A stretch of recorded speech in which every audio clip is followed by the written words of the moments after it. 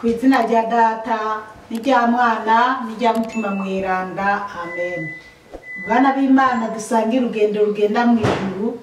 Ndabaramukije mu izina rya yezu kirisitu nitugire kirisitu Ah, muri iyi minsi nagize iyerekwa hanyuma iryo yerekwa narigize itariki mirongo ibiri na zibiri z'uku kwezi ku kwezi kwa mbere muri bibiri na cumi na gatatu.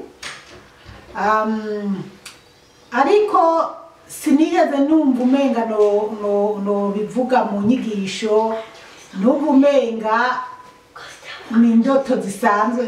Mbese muri jewe numva umenga nta mpamvu yo kubivuga ko cane nkumva nozogira umunsi hari igihe mba niko ndigisha ugasanga hariho ibintu bije nkavuga ntari niyumviriye ko nobivuga ariko kumbure bikaba ari imana yashatse ko ndabivuga. Ariko rero iryo yerekwa nagize kuva ku wa mungu w'indwi ishize narabuze amahoro nari natanze izindi nyigisho. Naricaye aha ndategura ividewo zitatu n'amawodi atatu ariko nkumva nta mpamvu yo kuzivugako. Umugabo rero kubera nagumye mbura amahoro bibaye ngombwa ko ndabivuga. Rero ariko n'ibyo nateguye ijambo ry'imana ah, dusabikanya kugira n'izo nzozi uwo ari we wese yumva ikintu dukwiye kuza turaraba mu mayerekwa tugira canke mu ndoto tugira kugira turabe iyi mesaje umukama bariko araduha.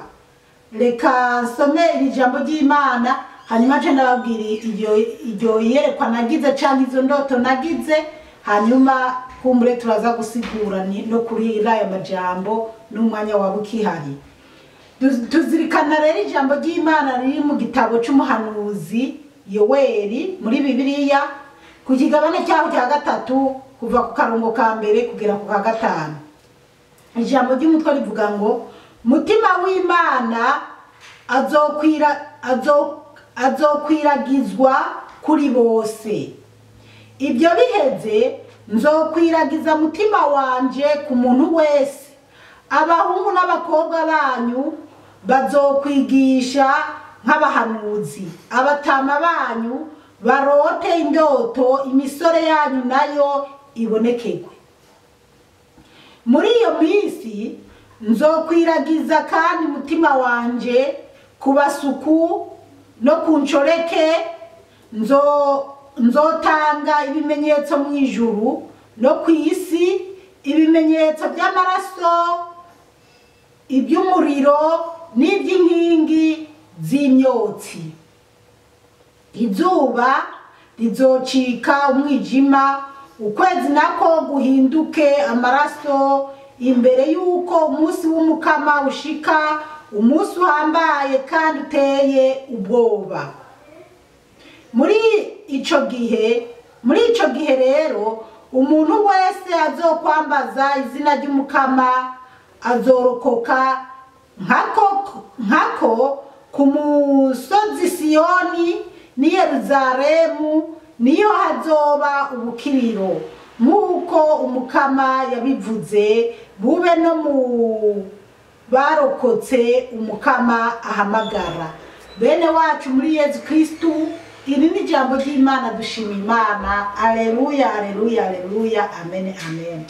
Bana b'imana rero iyerekwa nagize canke se indoto nagize hari kuwa mungu itariki mirongo ibiri na zibiri mu gatondo buri mu guce z'uku kwezi kwa mbere nibwo nari ndyamye hanyuma ngira ibintu by'iyerekwa mbona ndahantu nkabona n'abana kandi nanjye nari kumwe n'umwana wanje w'umukobwa. Ariko nkabona turi kumwe n'abantu bababaye kandi nanjye si uko noba nari nezerewe. Kuko bari abantu bariko barava gusuma bariko barava guhiga utuntu boja. Ndabona bikoreye imitemere canke se inkoko canke se utugunira ugasanga umuntu yikoreye agatebo kari ku dukeya cyangwa uduharage cyangwa yikoreye agatoke katanakomeye neza ibintu nk'ibyo mugabo nanje mbona umwana wanje w'umukobwa w'imyaka hafi icyenda nawe yikoreye akantu k'agatebo kari ku ibijumu ibijumu bijya bya maganda. Nubwo rero twari kumwe urumva ko ni nkaho natwe twari ku nimba twari tuvuye gusuma. Icyo nabonye gusa nuko nabonye uwo mwana w'umukobwa nanjye turi kumwe yikoreye ako gatebo kari ku ibyo bijumu kandi atari byinshi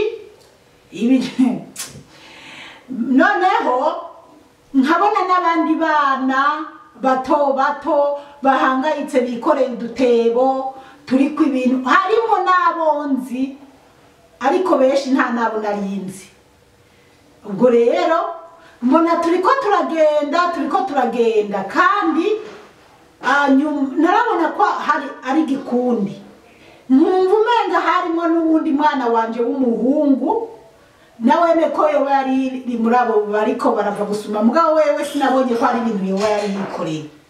Ubwo rero twarabandanije turagenda ariko nkabona koko ko abantu bahangayitse kandi bashonje. Ariko kandi nanjye n'uwo mukobwa wanje nkabona ko natwe nyene tu- turiko turava gus- gusuma. Basi.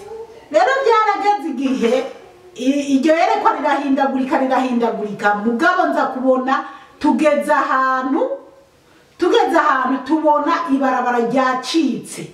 Ibarabara ryacitse ryacitse kumbure hariho abari bamaze kugenda hariho abo ntari nkibona mubona nabonye bikoreye twa dutebo sinzi ko ryacitse bo bamaze kugenda. Hariho kumbure n'abo twa- na- twari twasize inyuma rero tugera ahantu tubona ikibarabara cyacitse nti- ntibyoroshe ko tubandanya tugenda ngo tugende kuri nyakibarabara. Rero uko kuntu ikibarabara cyari cyatemutse cyari cyatemutse ukuntu umugabo warabe epfo ukabona muri hejuru epfo hasi ni kimanga kandi epfo rwose hariho uruzi ruguma ru- rutemba nyene rumanuka. Ubwo rero ni bwo jewe nagiye kumva ko twe na wa mwana wanje w'umukobwa turi kumwe twibaza nibaza ati "Mm, none iri kwibarabara ryaducikiye ko tura- turabigenza gute?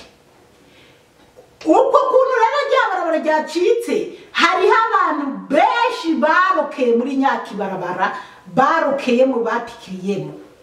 Hariho rero nza kurondeza ukuntu nogenda. N'abandi bantu nyine twari kumwe tuza kubona hariho akantu k'agahengeri menga twoca kuri nyakibarabara tugaca mugabo tubona ibigaga byadaguritse tubona ko nyine turabye nabi cyasama kikatumira cyangwa kidukorokanira rimwe na rimwe natwe tugatikira. Ariko jewe rero mbona bamwe bariko bararundamamwo bariko barahemukiramwo ndiko ndashakashaka nibaza ukuntu turi bugende ngiye kubona wa mwana wanje w'umukobwa nawe nza kubona nawe agiye gutibuka. Murumva? Hariko haratibukirayo abantu abantu b'abagabo abantu bakiri bato bariko baratibuka kandi uwatibuka yarararira maka epfo mu maga muri rwa ruzi agaca adobera. Kandi uwadobera muri urwo ruzi ntibyashoboka ko yongera kuduga. Rero nkaza kubona abariko bararokerayo ba- bakorokerayo barakoroka nkaza kubona umenga hariho abandi bariko barinanata ngo babe bova muri rwa ruzi. Nabonye hariho abandi nyimba baba bariko barava muri urwo ruzi. Nyimba byaba bimeze gute? Ahubwo ba bandi bariko barakorokerayo nkaca mbona bafatanye n'abandi ba- bariko barinanata ngo baveyo bibaza ukuntu boduga bakagera ruguru bidakunda. Ba bandi bagaca bafatana bose bagaca bagwa muri rwa ruzi. Hari abo nabonye bari bakorotse ari babiri bafatanye uwundi wa gatatu ariko aravuga ngo yinataraba uko yoduga mbona ahubwo nawe afatanye na ba bandi babiri ari batatu bose baba barirokeje muri baba bararokeye mwa rwa ruzi. Ndiko ndabiraba na wa mwana wanje w'umukobwa twari kumwe nawe yikoreye ka gatebo ku mutwe ka gatebo kari ku mutwe k'ibijumbu wa mwana w'umukobwa wanje yari yikoreye. Nako mbona kararaririye karaguyeyo ahubwo na wa mwana wanje w'umukobwa yari agiye kugwayo. Ka gatebo kamuva ku mutwe gakorokerayo. Wa mwana w'umukobwa rero ca ndamufata ukuboko. Ndamufata ukuboko kandi nanje nari mu kirere uru- urumva hari aho ngera nkiruhutsa. Ntacyo nari nifatikije na- ahubwo nariko ndarorera ndaba abo bantu bariko barahenukirayo urumva naje ariko numva ati ndagwayo uko biri kose ndagwayo ariko niko ndambaza imana ni mana wodutabara wodutabara. Rero fata wa mukobwa wanje ndamufata ukuboko nk'uku ndamufata nk'uku yenena kandi sibye ko iyo imana iriko irakwereka ibintu. Umwana w'umukobwa afise ibiro ngira arabize nk'ibiro mirongo ine. Cyane naho byoba ibiro mirongo itatu kubifata mu ntoke mu kuboko nk'uku ntibiba byoroshe mugabo ka gatebo k'ibijumu kahenukiyeyo ndaba. Agatebo karagenda mbona muri rwa ruzi karadobeye nyene ka- ndavuga nti ntacyo Ntawe- nti- mana umfashe umwana wanje ntakorokereyo basi rero twe na wa mwana wanje ndamufata uku ndamufata uku. Mbona abantu benshi bana b'imana. Jewe nubwo nari nanegereje nkumva ibi bintu sinobivuga ariko byabaye ngombwa ko ndabivuga nakomeje no gusenga imana none mana ni mesaje wampaye ngo mbwire abantu bose ibi bintu mana ndabikore kwiki? Mugabo kweri umutima w'imana yagumye ampatira kumva ko twobisangira. Kuko bijya bi- ibyo bintu neretswe ntabwo ari ibintu bisanzwe. Nibwo rero naguma ndaba ngena abantu bahenukiramwo baza bakagwamwo ari benshi barahonokera mugo mu- mu- muri icyo kimanga kandi icyo kimanga bana b'imana. Nabona turi hejuru cyane turi hejuru. Kuhanuka rero ubwo muri icyo kimanga hari kure. Kandi icyo kimanga ha- haca uruzi rumanuka abadobeye nyene bakararira no muri rwa ruzi ngo dwibi bakaba bagiye. Nta nta no kuvuga ngo umuntu arazamuye umutwe. Hanyuma narabirabye nyuma nisanga jewe niko ndagenda ukuntu n'uwo mwana w'umukobwa namufashe turi kumwe ariko ntangura kwibaza nkaza ndibaza none gabasha. Buriya abana banje baba bari bamaze kwambuka. Ese abana banje ntiboba bari mu boba baguye muri muri cya kino muri cya kimanga rya- ibarabara ryacikiye ko bataragenda. Mugabo uwundi mutima nkumva ko abana cyane cyane naguma niyumvira umwana umwe ko yoba yari yamaze kugenda. Ko wewe atabaye muri abo bariko barahura n'icyo kibazo. Ubwo rero twaragiye fashe wa mwana w'umukobwa twaragiye ndagera ahantu ngeze ahantu ndabona igikundi cy'abantu mbona igikundi cy'abantu nyine ahantu hari abantu hanyuma nza kumva hariho umuntu ariko aravuga ngo ngo ngo abantu ngo nibaze barabe ngo ko hari ababo bapfuye. Ngo abo bapfuye. Rero ngo hari ha- hariho ahantu ha- harambitse imirambo y'abantu bapfuye. Ngo abantu rero ngo nibagende barabe ko hari abantu babo bapfiriye aho hantu. Nanjye ni bwo niyumvira ndavuga ati "Hmm, kuge- ngende ndabe ko mwana wanje yoba yapfiriye. Ndagenda kuraba. Ariko wa mwana w'umukobwa we twari kumwe hanyuma ndagenda kuraba ngiye kuraba mbona nta mwana wanje yapfiriyemo. Hanyuma nyuma mu bantu bari aho ba- bazima narabonyemo abantu namenye hanyuma ndabona n'abantu benshi imirambikango y'abantu bapfuye bana b'imana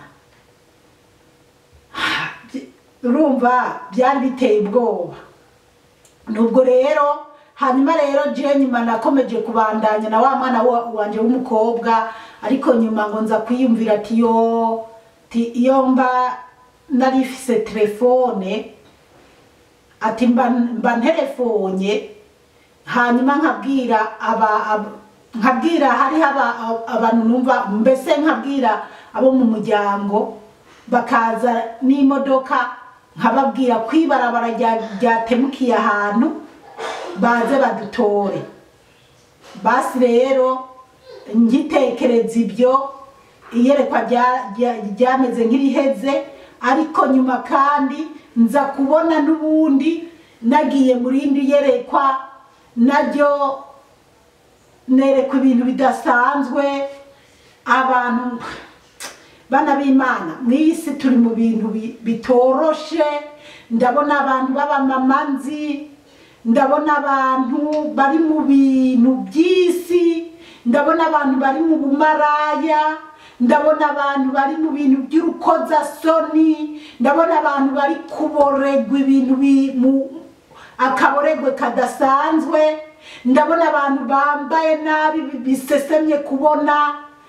Nkaguma niyumvira mu mutima wanje ndabona n'isengero igaragara itarimo abantu ngo- bagende basenge. Niyumvira ati ese ndagenda gusenga gute? Kandi atari n'abandi bantu bari mu rusengero. Mugabo nkumva ko uko byogenda kose ntegerezwa ku- ku- kugerageza je nkagenda gusenga. Basi rero iyerekwa ryandurutse rihera ni ibyo bintu rero bana b'imana nashatse kubabwira. Je nakomeje nibaza nkavuga ese ngiriye ni mesaje yanje imana yampaye. Kubera kuwa uwo munsi hari kuwa mungu nakumye nibaza ni mana ese ndaza kubona ibarabara rya- ryabomotse? Ese mana nsenga ati kumbure nze kutwaza imodoka neza mba mpamagara yezu ngo bari watudarayivinga igihe cyose mu gitondo. Iyo mbyutse natsa imodoka ari uko mbanje gukora ku rumenyetso rw'umusaraba mbanje gusenga inkubitamo urupfunguzo mba nasenze mu gitondo mba nabwiye imana ibishoboka byose. Ariko nyene niyo ngiye kuri vora nca mbaza nkasenga. Ubwo rero ndibaza nti kumbure ntihabura ibintu nza kubona mu mabarabara bituma rero iyo mesaje numva ntoyigeza ku bantu bose. Mugabo ya- nagumye numva mu mutima wanje ko hariho ibintu bidasanzwe. Nibwo rero nyuma eh, ku- kubera ko iyo ndiko ndategura inyigisho nkunda gutegura zitatu canke zibiri biravana n'umwanya mbafise. Ariko ubu rero byabaye ngombwa ko iyi mesaje ndayivuga. Abana b'imana rero uko je ndavyiyumvira hari n'abandi bovyiyumvira ukundi kundi kandi burya nasanze umuntu ashobora gusobanura indo- indoto ariko ugasanga hariho ubundi azisobanuye ukundi kandi buriya urashobora kugira indoto zawe nanjye nkagira indoto kandi zikaba zisa mugabo tukabona umuntu adusobanurira jack asobanurira ukwanje nawe akaba yo gusobanurira za ukundi u- uwundi muntu akazigusobanurira ukundi. Eh rero icyo nibaza jewe iyo ndiko ndaraba ibihe turimwo ni ibihe bitoroshe. Uyu mwaka wonyine uyu mwaka ndiko ndaraba ukuntu ibintu mu masoko bitera biduga. Ni ibintu bitoroshe. Ndiko ndaraba muri afurika abantu ngene baguma bampamagara barira canke bandungikira ama message barira yimba hari icyo ufise gira icyo udufashije? Ni ibintu bitoroshe. Hagiye kuba inzara idasanzwe. Kandi nanje ndazi iyo nzara yarangeze ko iramaze kungerako kuko uko nahora ndonka amafaranga nkayakoresha nkanayacagura ubu ntayo nkicagura kabisa ntayo nkicagura ntayo nkicagura pe. Ahubwo nanje nja muri manga. Hari igihe nibaza rero ko imana yariko iranyereka ko iyi igiye kuba itazo it- itazoba yoroshe ko na jewe nyene iyo nzara itazonyorohera kuko uwo mwana wanje w'umukobwa yari yikoreye agatebo kariko ibijumbu twariko natwe ngira turiko turava gusuma. Kandi ibyo bijumbu byari bikeya cyane. Narabona ko atanicyo biza kutumarira n'umuryango wanje Ha- canke kandi birashika hakaba hariho umuntu kumbura imana yashatse kunyereka kuko ndibuka ko nigeze kugira iyerekwa. Jewe ari jewe mbona ngowe ndi mu nzu igira impenukireko ntagira aho nkura igitoke canke ntagira aho nkura ibijumbu mugabo Ah, nyuma nkabona abana banje turi kumwe ndababwira ati nimugende kurima. Ndaza kubasangayo umwe umukobwa wanje agaca anyegera hakagenda abahungu babiri. Ah, rero ibyo nyuma naje gusanga ari umuntu yarangowe cyane. Imana yari kiranyereka iri kirashaka kugira icyo ndamukozeko rero ni byo kumbure birashika. Ah, gusa njyewe nafashe ko imana iri kiranyereka ko inzara igiye kubaho itazorabira umukungu n'umu- n'umukene ko uwo ari we wese izohava imushikako wenda ntibizoba kimwe ariko bana b'imana nibaza ko bizoba bigoye. Ikindi na cyo kubona urwo ruzi kubona iyo manga ibarabara rigacika nkabona abantu benshi bariko baragwa muri iyo manga baca badubukira muri ubuzi batwagwa bamigwa. N'abantu benshi cyane iyo nzara izohitana izo izotuma abagore bari bihanganye bazoja mu busambanyi usange babipfiriyemo. Abagabo bari bihanganye bazoza kwiba basumira abana usange babipfiriyemo. Abagabo bari bihanganye bazohemuka baje guta abagore babo bagende kwinjirira kumbura abagore ba bafise uburyo canke babona abagore bariko barava hanze babacikire bahemuke babipfiremo. Rero kuba kandi um, nabona ko hariho n'abagerageza kwinanata. Ati bagerageze kuva muri rwagobo naho baba bakorokeye umugabo bagashaka kwinanata ngo baveyo mugabo bakubitana n'abandi ko barakorokerayo bagaca bakorokana nabo. Ibyo na byo kandi birabonekana ko hari umuntu ashobora kuzoba yiyumvira ati nyamara nubwo namaze kugwa mu byaha reka ngerageze mveyo.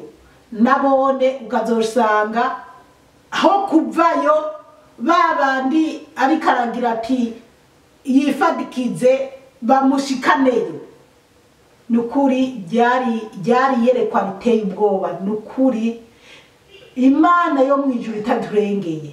Kabisa ryari iyerekwa riteye ubwoba.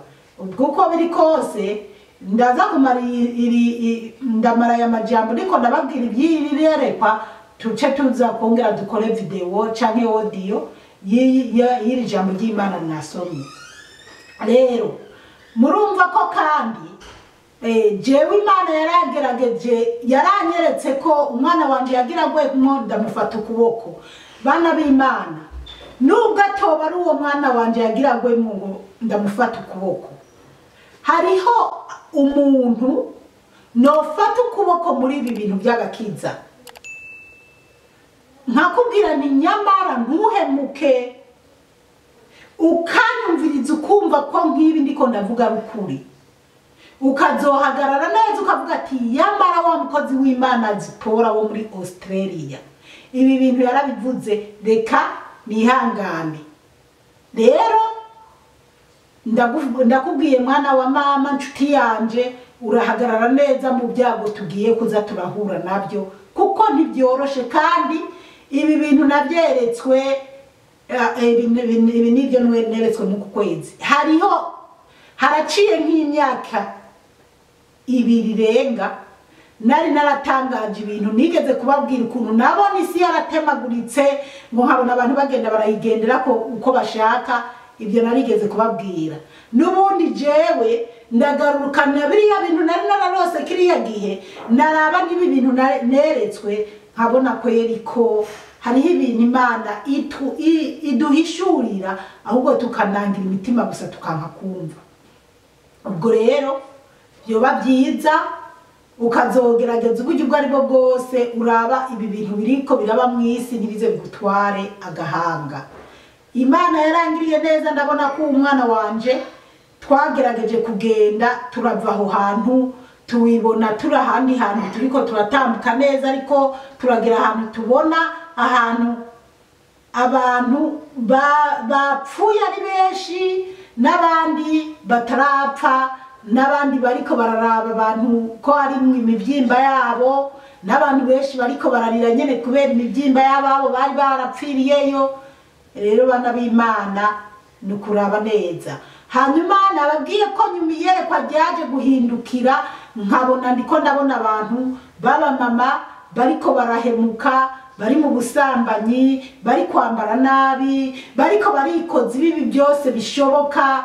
Ni kubera odiri kiragenda ariko we kumbure nzokubara ndabivuge ko abantu ntibere isengero mbona urusengero ruhagaze ata abantu bariko barinjira mu isengero ngo bagende gusenga eh?